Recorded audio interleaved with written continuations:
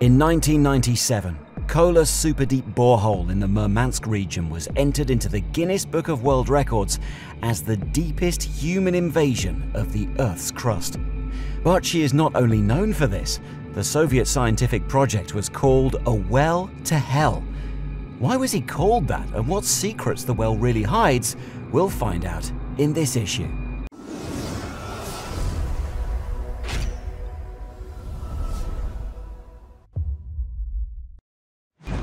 The Cold War between the USSR and the US was expressed not only in the arms race, but also in the race of science.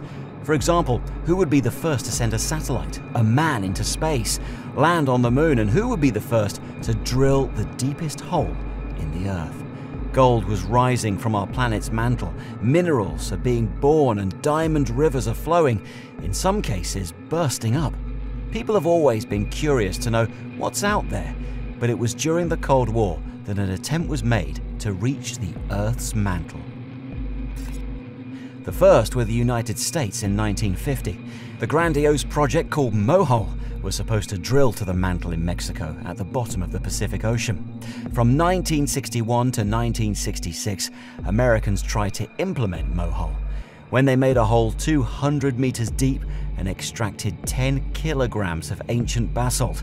After spending $40 million, the US Congress decided to shut down the Project Mohole because of the insane cost. In 1970, on the Kola Peninsula, among the wild tundra of the USSR, built a drilling tower height of 20-story house. The drill began its work and fought its way to the mantle for more than 20 years. This is how the Kola Superdeep borehole appeared cost a fortune, but the Soviet Union was determined to win this underground race, the prestige and all the world's science.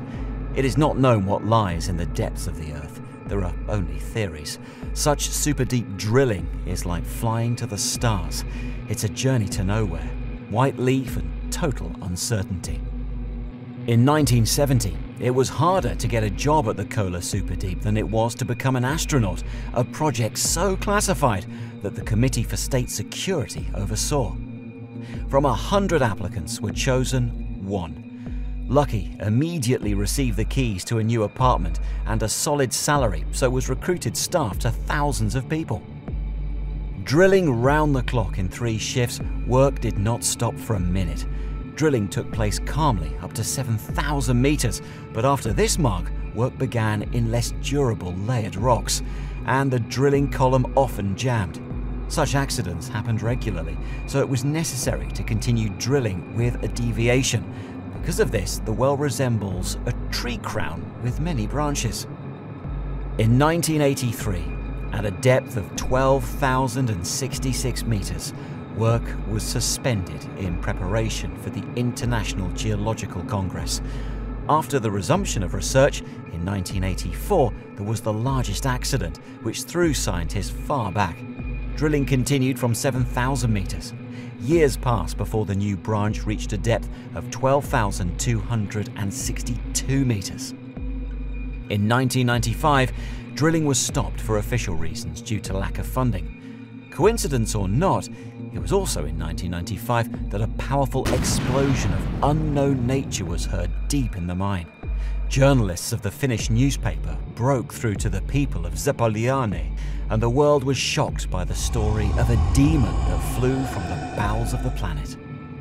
In April 1995, a wave of reports swept around the world about a mysterious accident at the Kola Superdeep borehole ostensibly approaching the 13th kilometre, discovered a huge cavity. Instruments detected a strange noise coming from the bowels of the planet.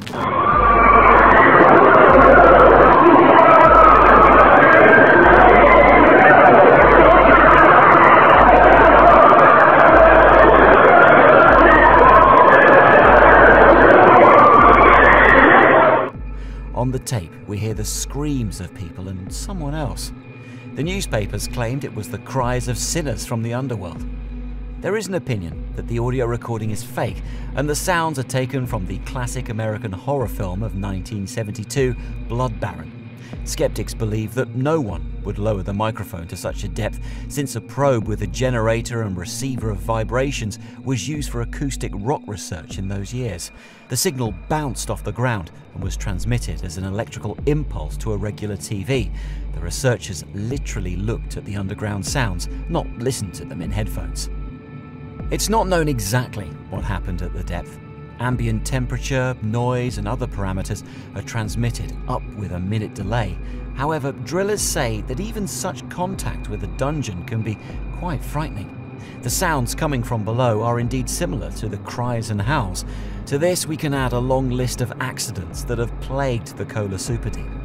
Twice the drill was taken out melted, although the temperatures from which it can melt are comparable to the temperature of the surface of the sun.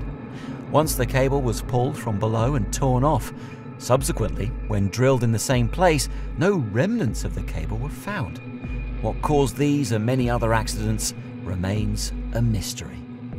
The head of the project, Kola Superdeep, David Guberman, confirmed that a very strange noise was recorded. Then there was an explosion, and a few days later, nothing of the kind was found at the same depth. At the same time, he said nothing about demons. In 1990, Germany decided to repeat the Russian feat. The super deep drilling project in Bavaria was based on the discoveries and mistakes of the Kola super deep borehole project. The Germans, relying on the Soviet experience, expected to break through further, and the first phase was a depth of 10 kilometers. The Bavarian super deep borehole reached 9 kilometers, breaking through the bottom of an ancient ocean a billion years old was stopped due to the high temperature in the bowels.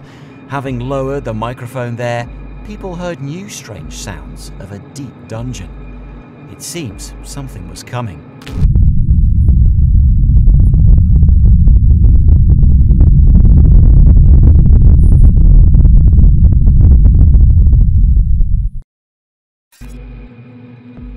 The drilling point was chosen on the Kola Peninsula not accidentally. The peninsula is located on the so-called Baltic Shield, which is composed from the oldest rocks known to mankind.